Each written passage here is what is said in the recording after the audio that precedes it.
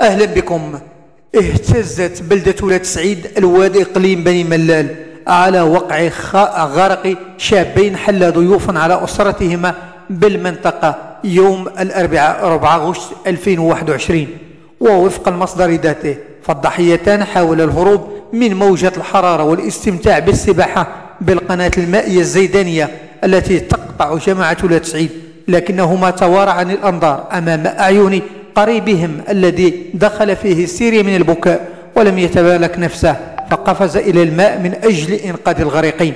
لكنه كاد هو الآخر أن يلقى حتفه لولا تدخل شباب المنطقة الذين تمكنوا من إنقاذه.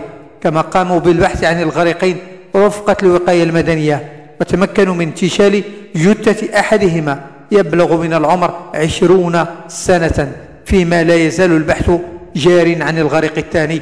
هذا وكانت السلطات الإقليمية قد قامت بتسييج القناة المائية بعد تسجيل عدة وفيات بالغرق إلا أن فعاليات بولاد سعيد لا زالت تطالب بضرورة وضع علامات منع السباحة لا سيما أمام الزوار الذين لا يعرفون خطورة السباحة في مثل هذه القنوات المائية.